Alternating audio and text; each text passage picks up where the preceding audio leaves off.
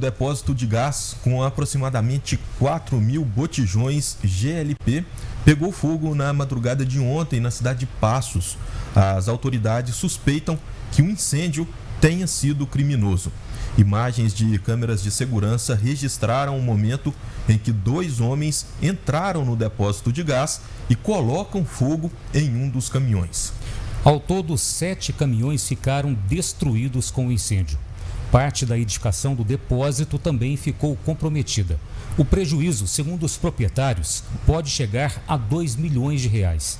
Para combater o incêndio, foram utilizados cerca de 20 mil litros de água e líquido gerador de espuma, porque as chamas estavam reacendendo nas rodas e cabine dos veículos. Os militares fizeram o resfriamento e rescaldo para evitar outras explosões e propagação aos estabelecimentos vizinhos. Bem, em entrevista à TV Passos, o capitão do Corpo de Bombeiros, Daniel Alves, comentou sobre o incêndio. Quando a guarnição chegou lá, BM, é, comparou, é, deu parou né, com um incêndio na cabine de um dos caminhões. Após segundos, houve a primeira explosão de um dos GLPs. É, a guarnição isolou o local, é, acionou a PM para isolar a, a rodovia, haja vista que os destroços do, do GLP né, estavam é, é, sendo arremessados ao longo da rodovia. É, após é, várias explosões, isolamento né, do local, o bombeiro adentrou no local, fazendo o combate direto às chamas. Quando adentrou no local, né, haviam vários é, botijões de gás pegando fogo, é, tinha um risco de explosão, contudo não foi explodido né, durante o atendimento ali na, chamas. É, fez o combate também para evitar a propagação né, à vizinhança, às edificações vizinhas.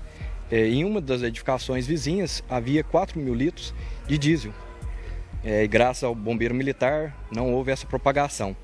Então, um incêndio de grande vulto na região.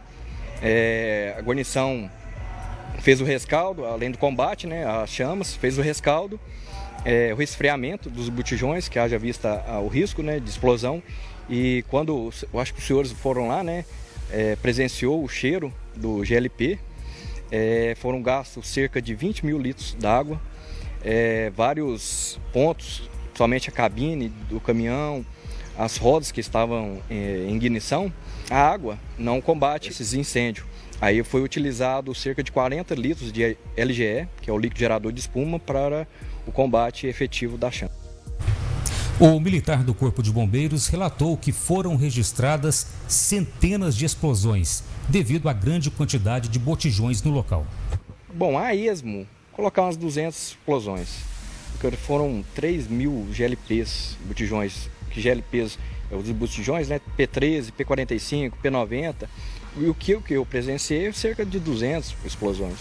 Provavelmente mais de 2 mil estavam cheios. É, o vazio ele corre o risco mais de explosão, por causa da propagação né, do, e da condução do calor para haver a explosão. Bem, este depósito de gás fica né, às margens da rodovia MG 050. Por causa do incêndio, cabos de energia elétrica foram comprometidos e a região ficou sem energia. A MG 050 chegou a ficar interditada por três horas em ambos os sentidos, devido à fumaça e ao risco de explosões. Os proprietários da distribuidora informaram que não tinham seguro. A Polícia Civil deverá investigar o caso.